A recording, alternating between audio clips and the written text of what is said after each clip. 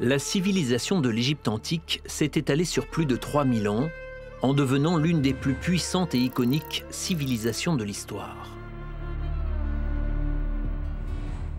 À son apogée, l'Empire égyptien s'étendait au nord jusqu'à l'actuelle Syrie et au sud jusqu'au Soudan.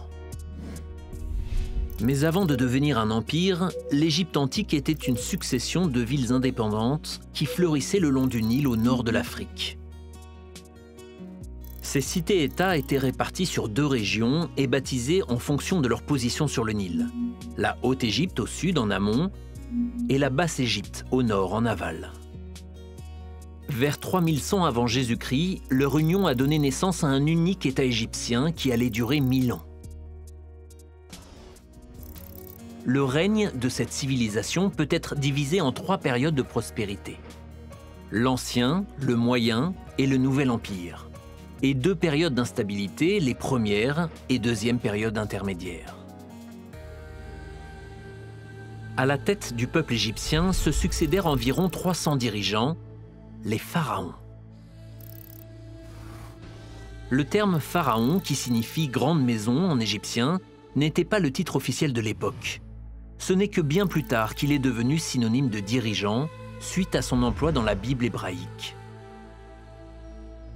Qu'il soit homme, femme, égyptien ou non, le pharaon était le protecteur du peuple et le lien divin entre ce peuple et les centaines de dieux qu'il vénérait. Lorsque ces dirigeants mouraient, la croyance voulait qu'ils deviennent à leur tour des dieux. Pour préparer leur voyage dans l'au-delà, les pharaons érigeaient des tombeaux élaborés, comme les pyramides de Gizeh et les mausolées souterrains de la vallée des rois.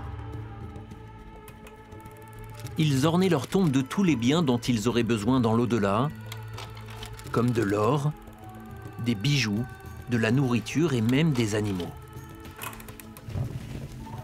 Pour se préparer à ce voyage divin, le corps devait aussi être momifié. Le défunt était embaumé, enveloppé dans du lin et placé à l'intérieur du tombeau pour que le corps puisse être réanimé dans l'au-delà. Aujourd'hui, les structures telles que les pyramides de Gizeh témoignent du rôle de la religion dans la vie des Égyptiens de l'époque. Ils représentent également la puissance culturelle et créative du peuple égyptien.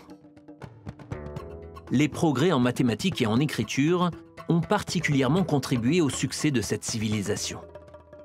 Les mathématiques, et notamment le système de mesure, ont aidé les Égyptiens à saisir et dompter leur environnement comme personne ne l'avait fait jusque-là. Ils ont développé une nouvelle mesure appelée coudée royale, Grâce à elle, ils ont bâti d'immenses structures comme la Grande Pyramide et sa précision géométrique remarquable. Les Égyptiens mesuraient également le temps. En associant les mathématiques à l'astronomie, ils ont divisé la journée en 24 heures et créé un calendrier qui était le premier système de datation de l'histoire à contenir 365 jours dans une année. Enfin, les Égyptiens ont développé des méthodes pour mesurer et arpenter le terrain autour du Nil.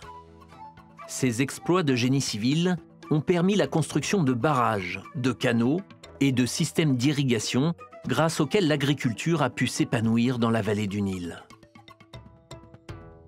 En plus des concepts mathématiques, les Égyptiens ont créé des langues écrites pour décrire le monde qui les entourait. La plus ancienne et la plus connue est probablement l'écriture hiéroglyphique. Ce système a été conçu vers 3150 avant Jésus-Christ, pendant l'Ancien Empire, et possède plus de 700 caractères figuratifs.